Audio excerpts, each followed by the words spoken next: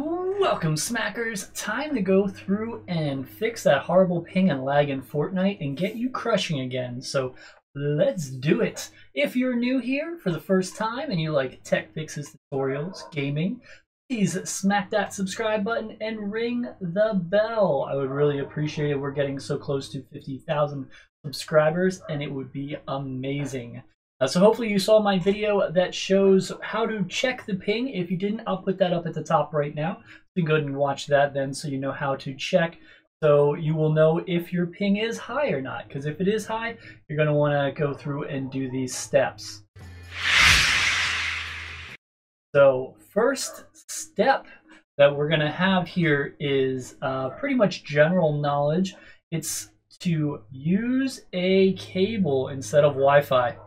If you plug your Ethernet right into the uh, router, uh, basically you'll be able to go through and have better signal than if you were using regular Wi-Fi.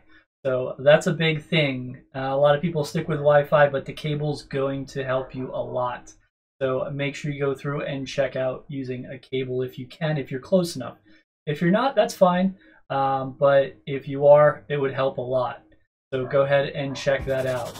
Um, if you are downloading anything or updating anything, you want to go through and stop that too. Now, I'm not talking about like watching YouTube and watching Netflix. I mean, if you're doing it on the same computer, you probably want to be careful. But if you're doing it on another computer, that kind of stuff's fine. But if you're downloading something large, you want to be very careful with that because that can go through and slow you down. Tip two, this is going to be a setting in game. Make sure you stick around though because step three and four are very important and you definitely want to do those. So step two is going to be a setting in game which some of you already may, be aware of. You want to go up to main menu at the top here and then you want to go ahead and choose settings. From here, you want to go ahead and choose game and then you're going to go ahead and you'll see matchmaking here. You can go ahead and switch it around. It'll show you what the ping is. So I'm um, NA East, the secret's out. Look out, stream snipers. Uh, but yeah, I'm uh, NA East. Uh, so right now the ping's looking really good there, but you can go through. If I was connecting to West, it would be 89, Europe 112, Oceania 248, and Brazil 140. You get the idea. But why do I need to know this stuff? Because say I'm playing with my friend and he's in Europe if I'm the party leader, I'm the one that gets to choose a server. So if I'm NA East, my ping is going to be awesome. My poor friend in Europe, he's going to be suffering because he's going to have slow ping. So next game maybe will be nice. We'll give him leader. So then he would be here, and now my ping is going to go up to 112. So this is basically how long it takes the game to check in with the server and come back. That's why they call it a ping, because it just sends it out and pings it real quick. Um, so that's basically how the ping is. So if you're playing solos, you want to go ahead and leave it closest, whatever's the lowest for you. Um, if you're playing with a friend, hopefully they're in the same area. If not, uh, then you're just gonna have to compromise and see who it is. You know, if it's if it's still in the same area, it's not so bad. But when it's really far away, it starts to hurt. That's why on some of these tournaments you see they switch leader because they want to get better ping. Because if they're connecting all the way over the seas, they'll notice some lag. So that was tip two. So make sure whoever the leader is isn't too far away or you may suffer. So now let's go ahead and get into the real meat of these, uh, tip three and four. Tip three, probably the most, one of the most important tips, three and four. So here we go. What we need to do is go down to your search and type in CMD. It's short for command. But just type in CMD and it'll come up with a command prompt. You want to go ahead and click on that. And here you're going to type, there you go, I put it on the screen for you. I'll zoom in a little bit to make it easier for you. Basically, you're going to type that, which is um, ipconfig space forward slash flush DNS, and then enter. So that's exactly what it's going to say. Um, and then you're just going to hit enter and then it's going to go through and basically uh, get rid of all the junk in your uh, connection areas so it'll make it respond better. So uh, we'll go ahead and do it again. I haven't done this in a while, so I'll go ahead and do it.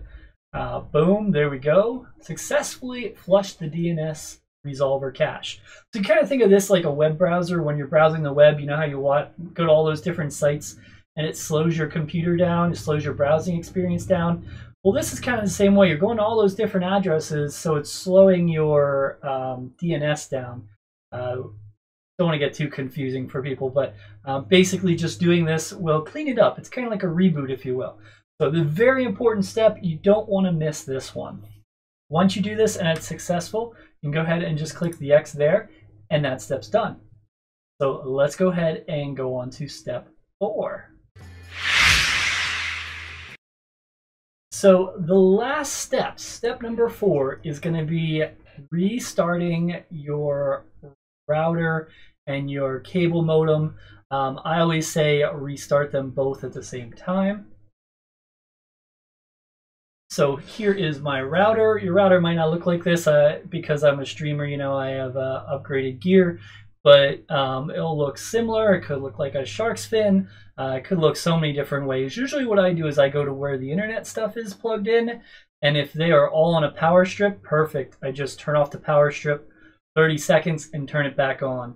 If they're not all on a power strip, I just unplug the power on all of them, give it a few seconds, like I said, at least 10 seconds, and plug them all in. And before you do this, make sure nobody's online using anything because this is going to kill your internet through the whole house, all your Wi-Fi and everything.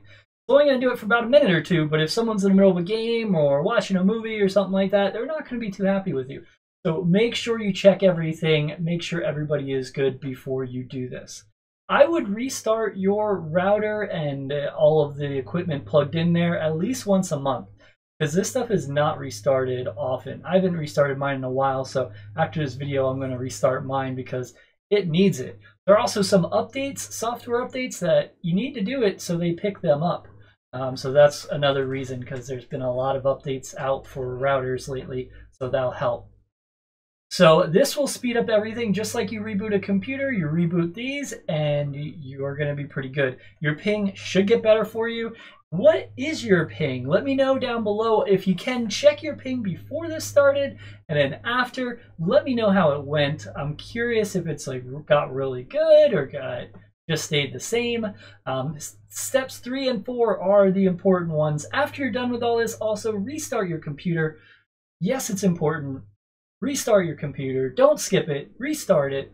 Get fresh. Everything fresh, nice, and yeah, gonna be crushing it. Guys, if this helped you out, please go ahead and smack that like button. I definitely appreciate it. And as always, I'll see you in the next one. Mac out.